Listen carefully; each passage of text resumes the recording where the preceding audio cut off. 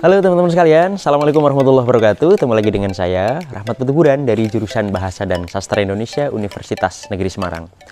Teman-teman, dalam rangkaian diskusi tentang analisis suasana kritis Rasanya saya sudah pernah mengajak Anda untuk membahas sejumlah topik penting ya. Kita pernah membahas prinsip-prinsipnya Kita pernah membahas perbedaannya dengan pendekatan analisis suasana yang lain kita bahkan pernah mendiskusikan meskipun sekilas ya tahap-tahap analisisnya.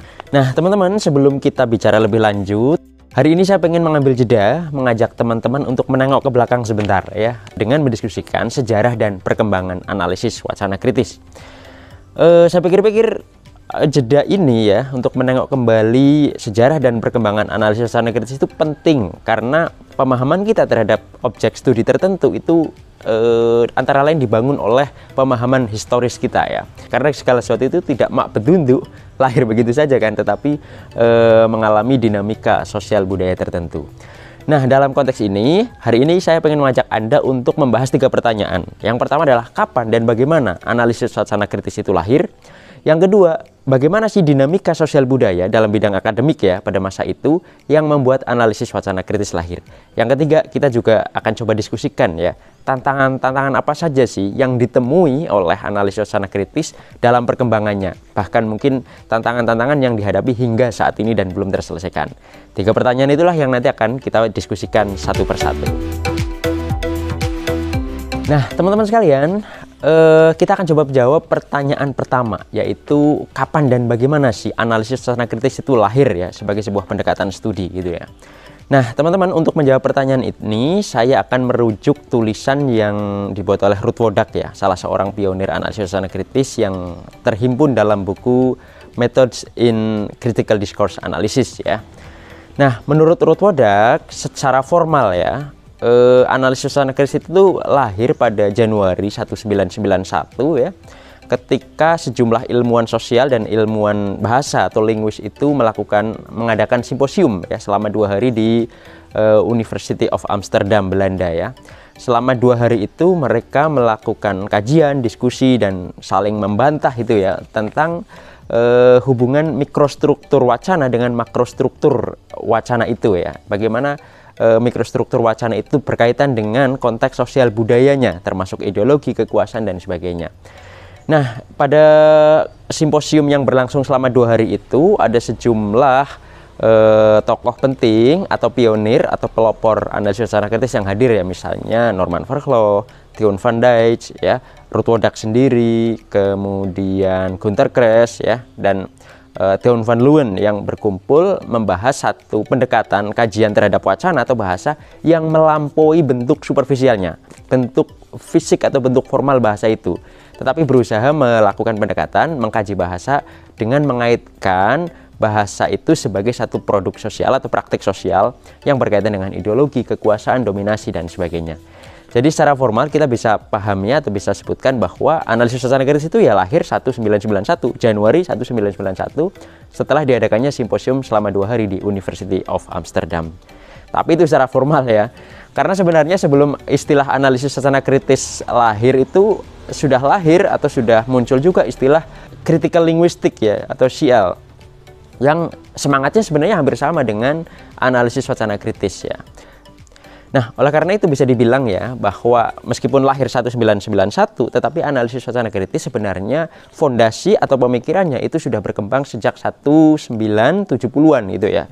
E, ketika muncul critical linguistik gitu ya. Momentum 1991 itu dianggap sebagai momentum formal ya karena pada saat itulah analisis suasana kritis dikukuhkan dan menjadi semakin populer. Karena sejak saat itu publikasi, penelitian-penelitian, jurnal tentang uh, analisis suasana kritis itu mulai subur ya, mulai produktif uh, terbit. Misalnya uh, jurnal Discourse and Society yang dikelola oleh Van Dijk. Kemudian lahir juga buku Language and Power yang diterbitkan oleh Norman Farlow yang menandai uh, apa perkembangan awal critical discourse analysis pasca simposium 1991 itu.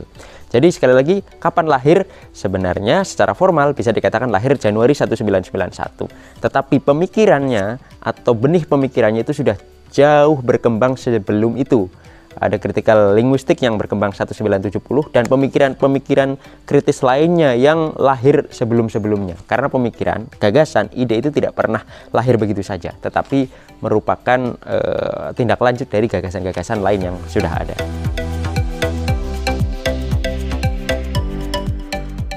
Nah, teman-teman, saya ingin mengajak Anda untuk menjawab pertanyaan yang kedua. Dinamika sosial budaya atau konteks sosial budaya apa yang melahirkan analisis secara kritis gitu ya. Nah, teman-teman sekalian, sekali lagi tadi sudah saya sampaikan bahwa eh, pada tahun 1970 sudah ada critical linguistik yang memiliki semangat yang sama untuk mempersoalkan bahasa atau wacana itu dalam konteks eh, sosial yang lebih besar menghubungkan wacana dengan dominasi, dengan ideologi, dengan kekuasaan ya. Nah, eh, critical linguistik menurut Gunter Kers itu memiliki semangat atau asumsi dasar yang hampir sama dengan analisis wacana kritis yang berkembang hari ini. Ada empat asumsi dasar yang dimiliki oleh critical linguistik dan relevan atau sejalan dengan semangat atau asumsi dasar analisis wacana kritis. Yang pertama adalah bahwa bahasa itu dianggap sebagai fenomena sosial, ya. Yang kedua, bahasa tidak hanya diinterpretasikan oleh individu secara kognitif, tetapi diinterpretasikan melalui proses sosial budaya. Yang ketiga, teks adalah satuan atau unit bahasa yang relevan dengan peristiwa komunikasi. Yang keempat, pendengar atau pembaca merupakan subjek yang aktif ya, menyusun makna dan melakukan proses interpretasi, bukan subjek yang pasif. Nah, empat, asumsi dasar yang dikembangkan oleh critical linguistik inilah yang kemudian e, me, apa namanya ya memiliki kesamaan dengan asumsi dasar yang dikembangkan oleh analisis wacana kritis. Oleh karena itu, kita bisa sebut ya bahwa sebenarnya analisis wacana kritis itu sebenarnya sebuah gagasan yang dikembangkan dari gagasan sebelumnya yang sudah ada. Selain itu, analisis wacana kritis itu kan tidak berkembang dari gagasan kosong ya. Dia juga memanfaatkan teori-teori sosial, teori-teori kebudayaan yang satu uh, ada.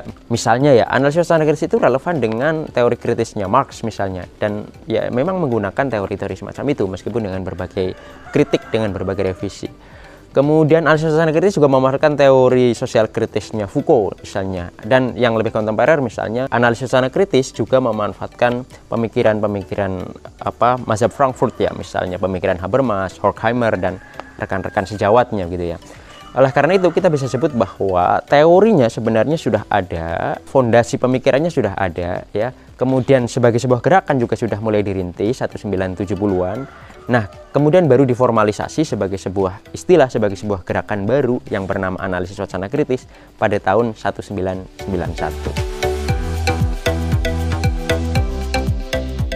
Nah, berikutnya teman-teman, saya ingin mengajak Anda untuk menjawab pertanyaan yang ketiga. Bagaimana tantangan-tantangan yang ditemui dalam pengembangan analisis wacana kritis gitu ya.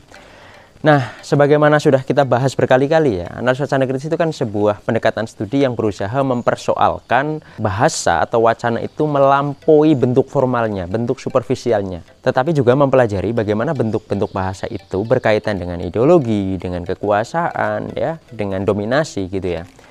Nah, pada tahap awal e, pengembangannya, menurut Ruth Hodak, Tantangan serius yang dihadapi oleh para pengkaji atau pelopor analisis sasana kritis adalah mendefinisikan dengan presisi dan meyakinkan apa itu kritis gitu ya. Karena kritis itu kan istilah yang generik sebenarnya bisa digunakan dalam bidang apa kajian sastra misalnya digunakan dalam politik, dalam bidang ekonomi dan sebagainya itu kan. Nah, tetapi kritis itu dalam pengertian ini sebenarnya apa gitu. Nah, teman-teman, Ruth Wodak dalam uh, method in critical discourse analysis menjelaskan ya bahwa sikap dasar atau pemahaman awal kritis adalah berkaitan dengan menjaga jarak dengan data, menjadikan data sebagai bagian dari realitas sosial, mengambil sikap politik secara eksplisit dan jelas, dan fokus pada refleksi diri ketika peneliti melakukan penelitian. Namun frame kritis atau pengertian kritis eh, belakangan ini itu kan berkembang ya, tidak hanya pada aspek yang sifatnya metodologis tadi, tetapi juga bersifat politis dan sosial gitu ya. Nah, oleh karena itu dalam perkembangannya kritis itu dipahami sebagai satu gerakan untuk membantu mengembangkan kesadaran kelas yang terpendam. Menurut Horkheimer misalnya sebagaimana dikutip oleh Podyak di tulisan ini menganggap bahwa teori kritis adalah untuk membantu mengingat masa lalu yang terancam terlupakan berjuang untuk pembebasan, menjelaskan alasan dari perjuangan tersebut dan menentukan sifat pemikiran kritis itu sendiri. Dengan kata lain, teori kritis diharapkan dapat memberikan pandangan kritis tentang realitas sosial dan politik untuk membantu mencapai perubahan positif dalam masyarakat dan dunia. Teori semacam itu berusaha tidak hanya mendeskripsikan dan menjelaskan, tetapi juga untuk membasmi delusi tertentu, membasmi kesadaran e, palsu tertentu ya, supaya masyarakat bisa bergerak dengan e, lebih organik sesuai dengan kemauan, dengan gagasan, dengan ideologinya. Kurang lebih begitu ya. Tentu saja ini bukan satu-satunya tantangan ya dalam menggunakan analisis secara kritis. AWK juga menemui berbagai tantangan baru karena akan berusaha mempersoalkan kekuasaan, dominasi dan ideologi ya. Sementara kekuasaan itu sesuatu yang apa ya, sangat liquid itu ya, sangat e, berkembang dengan sangat cepat gitu loh. Dalam konteks hari ini misalnya, kekuasaan itu kan menemukan bentuk-bentuk baru melalui teknologi misalnya, melalui artificial intelligence, melalui big data ya dan sebagainya. Nah, oleh karena itu ke depan menurut saya eh, analis wacana kritis juga akan berhadapan dengan tantangan serius dalam menjelaskan dan menghadapi bentuk-bentuk kekuasaan dan dominasi baru yang disebabkan oleh atau diciptakan oleh penggunaan teknologi yang supermasif tadi. Misalnya dominasi apa artificial intelligence, misalnya tirani digital dan eh, bentuk-bentuk penindasan lain yang memanfaatkan teknologi gitulah. Nah, karena itu sebagai sebuah gerakan, sebagai sebuah pendekatan studi, analisis secara kritis pun tidak mestinya stagnan ya, tetapi terus-menerus berkembang, mengadaptasi pemikiran-pemikiran baru, temuan-temuan baru dalam berbagai bidang untuk dikelola, dikembangkan sehingga menjadi semakin lengkap gitu. Kurang lebih begitu yang bisa saya sampaikan. Mudah-mudahan bermanfaat. Kita ketemu lagi di kesempatan yang akan datang bersama saya Rafatul Teguran. Assalamualaikum warahmatullahi wabarakatuh.